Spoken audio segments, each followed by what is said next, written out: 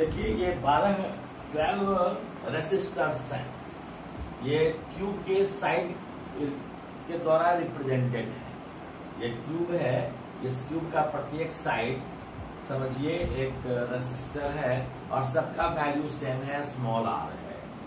सबका value same है R R R सबका वैल्यू सेम है.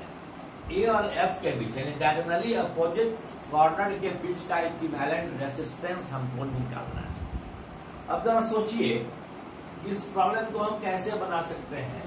अगर यह करंट जाएगा आई सपोज़ कीजिए कि आई करंट इससे होकर जा रहा है तो आई कितने भाग में बटेगा? एक इधर से जाएगा और एक इधर से जाएगा, प्रत्येक रेसिस्टेंस बराबर है और एक इधर से जाएगा। यानी आई बाई थ्री करंट इधर से जाएगा आई बाई थ्री इधर से जाएगा और आई बाई थ्री इधर से जाएगा। आई बाई थ्री मैंने क्यों कहा? क्योंकि यह सिमेट्रिकल ही है या सिमेट्रिकल है। अगर दोनों डायगोनल को मिलाते हैं तो यह देखते हैं कि यह पूरा पार्ट एक दूसरे के सिमेट्रिकल लग रहा है। तो आई करंट इधर से जाएगा आई करंट मान मान लीजिए कि आई बाई थ्री करंट इधर से जा रहा है आई बाई थ्री करंट इधर से जा रहा है आई बाई थ्री करंट इधर से जा रहा है। इसका मतलब है कि जितना पोटेंशियल ड्रॉप बी पर होगा, उतना ही पोटेंशियल ड्रॉप डी पर होगा और उतना ही पोटेंशियल ड्रॉप एच पर होगा।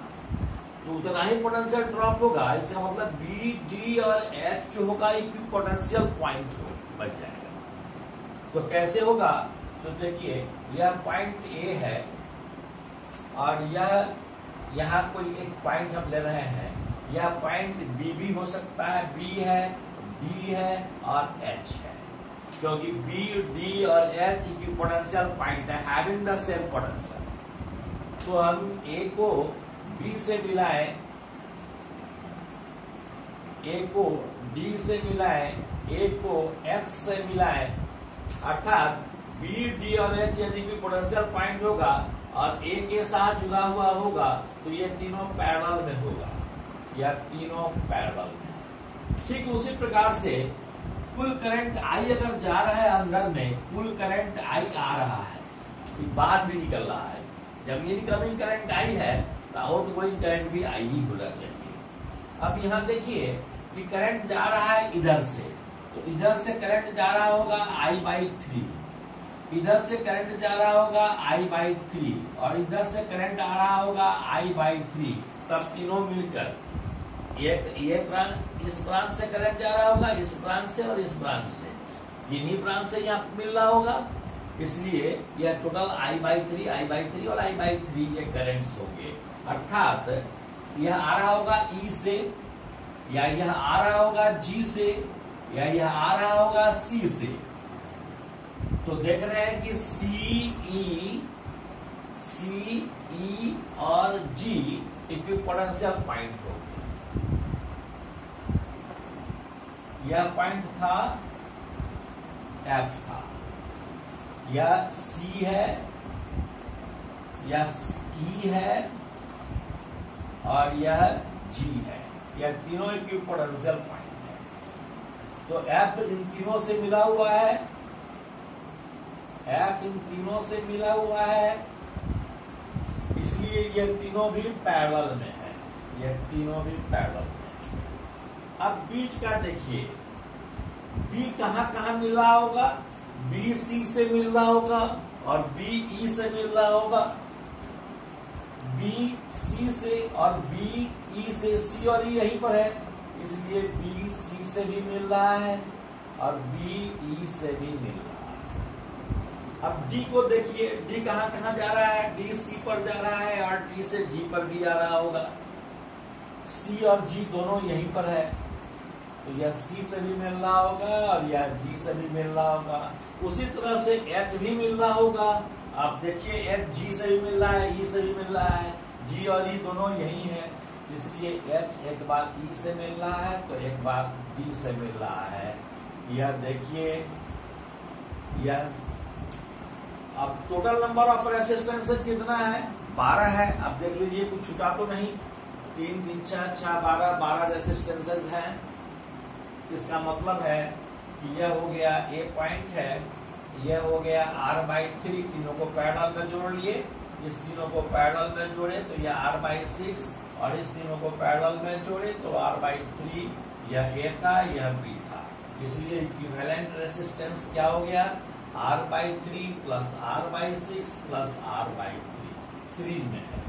So this is six this is two R plus R R this is five R by six this is your answer अगला प्रॉब्लम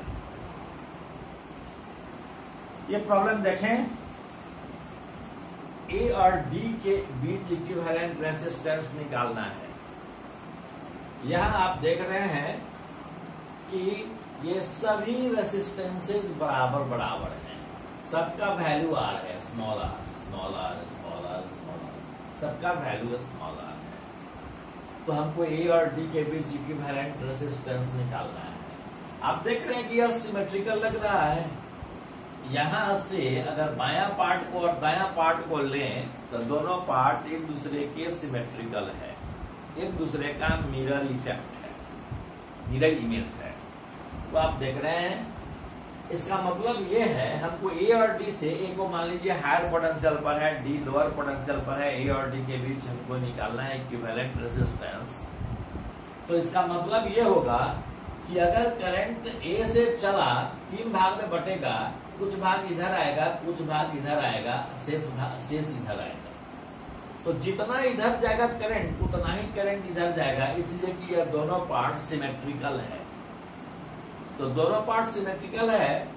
सपोज़ कीजिए कि अगर आई करंट इधर जा रहा है तो आई करंट इधर भी जाएगा। इसका मतलब कि जितना पोटेंशियल ड्रॉप बी पर होगा, उतना ही पोटेंशियल ड्रॉप सी पर होगा। तो बी और सी को हम इक्वी पोटेंशियल पॉइंट मान सकते हैं।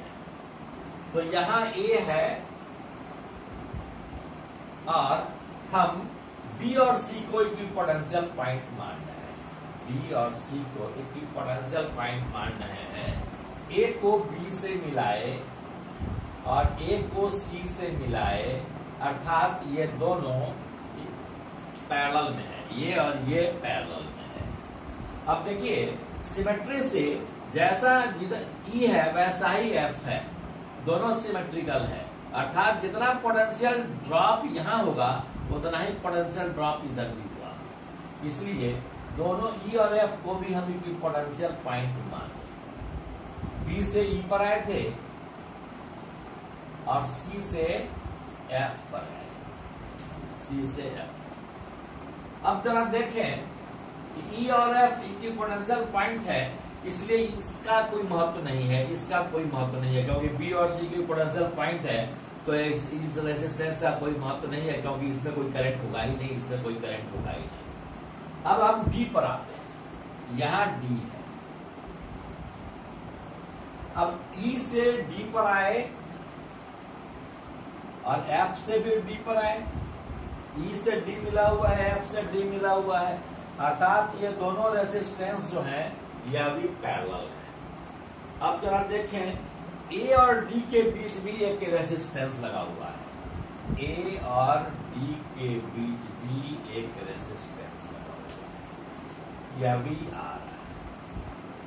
या टू आर हो गया, टू आर हो गया सॉरी आर बाई टू हो गया, आर बाई टू और आर बाई टू हो गया, ये आर बाई टू है, ये आर बाई टू है, और ये भी आर बाई टू है। ये तीनों सीरीज़ में है, और उसके साथ एक रेसिस्टेंस आर वैल्यू का पैरेलल में है। हमको निकालना है ए और बी के बीच इक्विवेलेंट रेसिस्टेंस अब क्या होगा यहाँ? R by two plus R by two plus R by two this is three R by two तो इसको हम लिख सकते हैं this is three R by two और यह क्या हो गया? आर इस दोनों को हम पैरेलल जोड़ लेंगे। यह ए पॉइंट है, यह बी पॉइंट है। पैरेलल जोड़ेंगे, लिखेंगे one by R is equal to one by R one plus one by R two ठीक है? This is equal to three R यह हो गया two plus three this is five by three R so R is equal to three R by five this is your answer एक problem और करते हैं। देखिए इस प्रॉब्लम को। इस प्रॉब्लम में चार रेसिस्टर जुड़ा हुआ है एक बैटरी से। ये बैटरी थ्री वोल्ट का है। और हमें निकालना है यह बैटरी कितना करंट सप्लाई किया। यह करंट निकालना है आई का वैल्यू क्या हुआ? Current supplied by the battery हमको निकालना है। What should I do now हम सबसे पहले क्या करेंगे कि इस दो पॉइंट के बीच इक्विवेलेंट रेसिस्टेंस निकाल लेंगे। ए और बी के बीच, यहाँ या यहाँ के बीच। हम इक्विवेलेंट रेसिस्टेंस निकाल लें तो इक्विवेलेंट रेसिस्टेंस कैसे निकालेंगे?